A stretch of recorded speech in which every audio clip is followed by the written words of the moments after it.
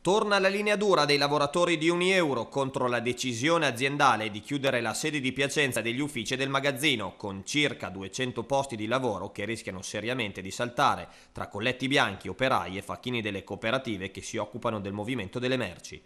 Questa mattina l'Assemblea del personale ha votato all'unanimità per lo stato di agitazione, che prevede anche la messa in campo di scioperi improvvisi e di azioni clamorose, come manifestazioni di fronte alla prefettura, alla provincia e in alcuni punti strategici della città.